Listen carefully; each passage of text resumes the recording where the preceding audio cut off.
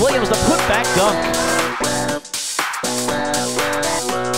Ingram, the lob, and the finish by Kaycon.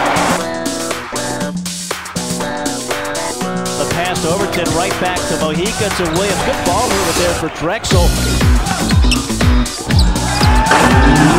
Back to Daniel on the right elbow.